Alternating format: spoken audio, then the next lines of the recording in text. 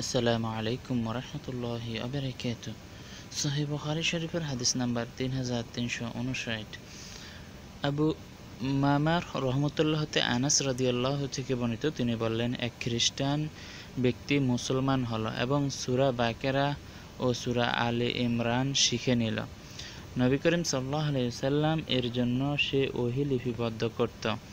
তারপর সে পুনরায় খ্রিস্টান হয়ে গেল। সে বলতে লাগল, আমি মোহাম্মদ, আমি মোহাম্মদকে যা লিখতে দিতাম, তার চেয়ে অধিক কিছু তিনি জানেন না। নাহজবিল্লাহ কিছুদিন পর আল্লাহ তাকে মৃত্যু দিলেন। খ্রিস্টানরা তাকে যথারীতি দাফন করল। কিন্তু পরদিন সকালে দেখা গেল, কবরের মাটি তাকে বাহিরে নিক্ষেপ করে দিয়েছে। তা দেখে খ্রিস্টানরা বলতে লাগল, এটা মোহাম্মদ ও তার সাহাবিদের কাজ।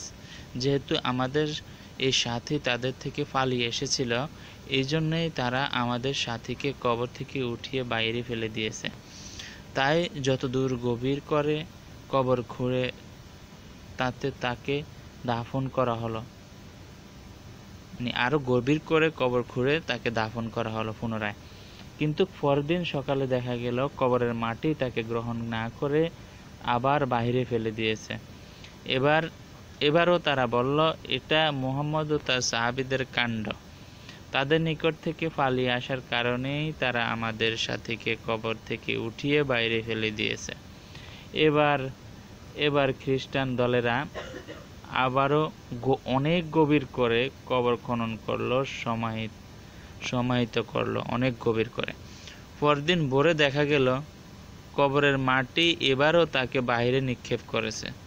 তখন তারাও বুঝতে পারল যে এটা মানুষের কাজ নয়, কাজেই তারা তারা সব ওই দেহটি বাইরে ফেলেই রাখল। আল্লাহ।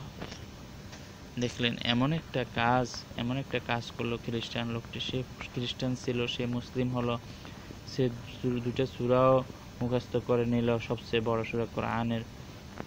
তারপরে যখন তাকে কোরআন লিপিবদ্ধর জন্য দায়িত্ব দেওয়া হলো, তখন সে মিথ্যা আরজ করতে লাগল, সে আবার পুনরায় খ্রিস্টান হয়ে গেল। তারপর কিছুদিন পর তার মৃত্যু হলো আল্লাহ তালা তার মৃত্যু দিলেন। মৃত্যু দেওয়ার পরে সে কি করল?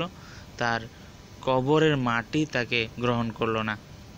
তাকে কবর দেওয়া হলো। মুসলমান মুসলমানদের মতো করে কিন্তু কবরের মাটি তাকে গ্রহণ করল না, তাকে উপরে ফেলে দিল। যত গভীরে নিচে নিল, অনেক গভীর করে কবর খনন করার পরও তাকে মাটি তাকে উপরে, বাইরে ফেলে দিয়েছিল। সর্বশেষ ওদের গোত্রের লোকেরা, খ্রিস্টান গোত্রের লোকেরা কি করল? ওইভাবেই ফেলে রাখল। কি করবে আর বাচ্চারা কবর খুঁড়তে খুঁড়তে খুঁড়তে তো ওরা তো হয়রান। এত নিচে ঢুকানোর পরেও যদি কবর এটা যদি মানুষের কাজ না হয়ে থাকে, তারা বুঝতে পারল সর্বশেষ যে এটা মানুষের কাজ নয়।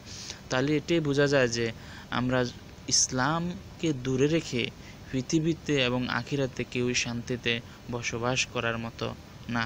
অবশ্যই ইসলামকে যে যে রাসুলকে, আল্লাহকে যে বিশ্বাস না করবে, যে তাদের বিরুদ্ধাচরণ করবে, তাদের এমনই ঘটবে, সেটা একটা দৃষ্টান্ত হিসাবে এই হাদিসটি আনাস রদিল্লাহ তালা বর্ণনা করলেন রাসুল সাল্লাহ সাল্লামের পক্ষ থেকে, আমরা চেষ্টা করব রাসুল সাল্লাহ সাল্লামের সবগুলো হাদিস মেনে চলতে এবং বুঝে আমল করতে।